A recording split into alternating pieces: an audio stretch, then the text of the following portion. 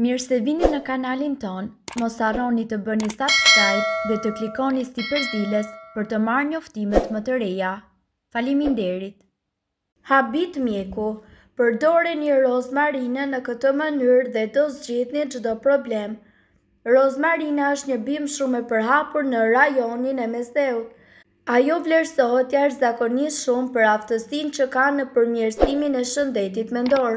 Në mjekësinë tradicionale aziatike rozmarina është përdorur prej shekujsh si tonik për trurin, shëndetin e veshkave, heqjen e toksinave, stabilizimin e tensionit të gjakut dhe shëndetin e zemrës.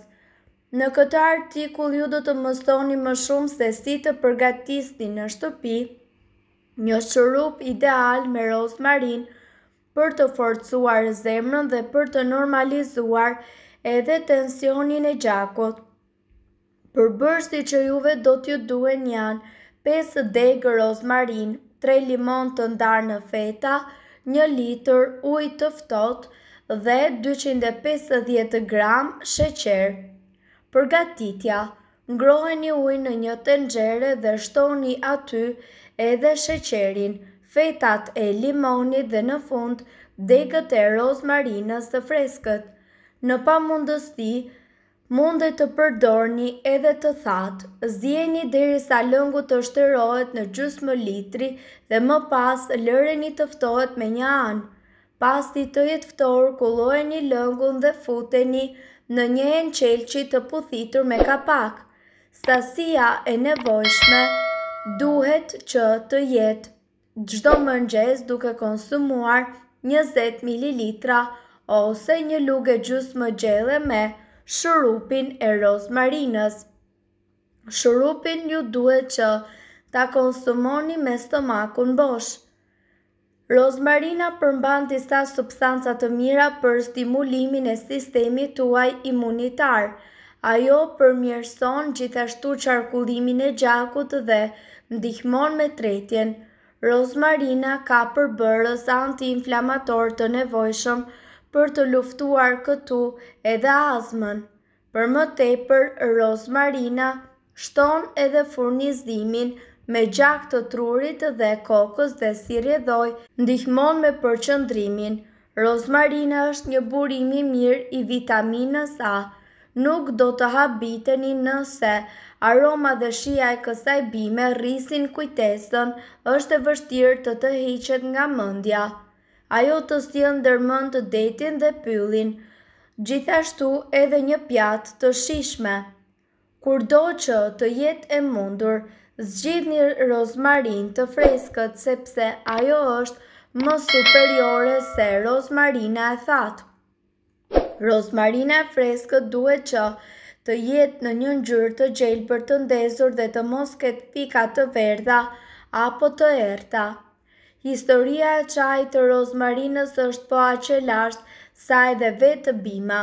Kjo barishtë është përdorur që në lashtësi për t'i dhënë njeriut një kujtesë shembullore. Rozmarina konsiderohej si një kurë ideale kundër mostretjes, dhimbjeve muskulare dhe problemeve me gjymtyrët. Acidi salicilik i cili gjendet tek çaji konsiderohet si paraardhëse e aspirinës. Kjo është edhe arsyeja pse çaji i rozmarinës është shumë i suksesshëm edhe në parandalimin dhe trajtimin e artritit dhe reumatizmës, kundër mikrobeve dhe baktereve. Çaji i rozmarinës është i pasur gjithashtu me substanca që luftojnë mikrobet dhe bakteret. Këto përbërës e bëjnë çajin ideal kundër disa problemeve me lëkurën. Vlerat shëndetësore të çajit të rozmarinës, Forcon trurin, Çaji i rozmarinës përmirëson qarkullimin në tru dhe performancën e tij. Ai përmban një ushqyes të quajtur acidi karnosik, i cili është një antioksidant i fuqishëm që mbron neuronet nga dëmet e shkaktuara prej radikaleve të lira.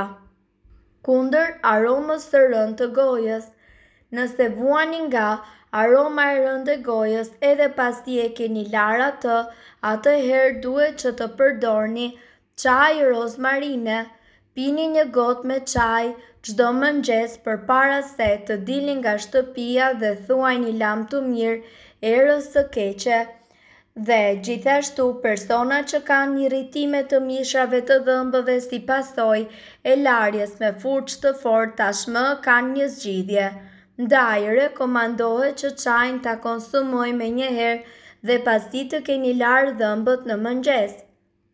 Probleme shëndetësore, Çaji i rozmarinës është shumë i mirë për njerëzit të cilët vuajnë nga problemet respiratore. Ai ndihmon kundër bllokimeve të ndryshme, infeksioneve, të ftohtit, virozave dhe alergjive. Çaji po ashtu ndihmon edhe kundër dhimbjeve të kokës të cilat shoqërojnë problemet me rrugët e frymëmarrjes. Çaji i rozmarinës përdoret edhe për problemet me mëlçinë. Ekstraktet e bimës në veçanti janë shumë të dobishëm kundër këtyre problemeve. Si të përgatisni çajin e rozmarinës? Përgatitja e këtij çaji është shumë e lehtë. Përbërësit e nevojshëm janë një filxhan me qumësht, një degë rozmarine të tharë ose një lugë gjelle me rozmarinë të thatë dhe një lugë çaji me mjaltë. Ndajeni degën e rozmarinës në katër pjesë, tre prej të cilave duhet që t'i hidhni në një tenxhere me qumësht dhe lëreni ato që të ziejnë së bashku. Hiqeni atë nga zjarri dhe lëreni të qëndrojë së bashku për pesë minuta të tjera, gjatë të cilave duhet të përzieni lëngun vazhdimisht. Shtypeni copat e rozmarinës me lugë në mënyrë që të lëshojnë një aromë të fortë dhe sigurisht të çlirojnë vajrat esencialë. Shtoni mjaltin dhe çaji juaj është gati. Njëkohësisht duhet të keni kujdes sepse ky çaj ul aftësinë e trupit për të përthithur hekur nëse vuani nga anemia duhet që të konsultoheni mirë se nëse duhet ta përdorni këtë kurë apo jo. Ky çaj njëkohësisht mundet që të mos jetë i mirë edhe për femrat shtatzënë dhe ata të cilët vuajnë nga diabeti duhet gjithashtu që të konsultohen edhe me një mjek.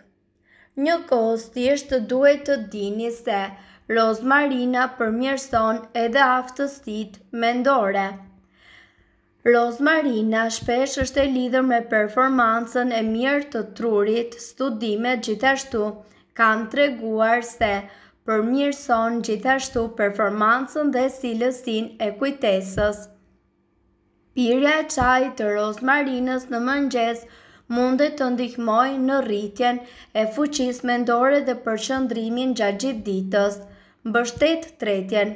Tradicionalisht, rozmarina është përdorur për të ndihmuar gjithashtu me dhimbjet e muskujve dhe njëkohësisht përmirësimin e kujtesës, sistemin imunologjik të qarkullimit të gjakut dhe sigurisht duhet të dini se duhet të shijoni një filxhan çaji rozmarine pas ngrënies për të ndihmuar kështu tretjen dhe për të lehtësuar edhe dhimbjen.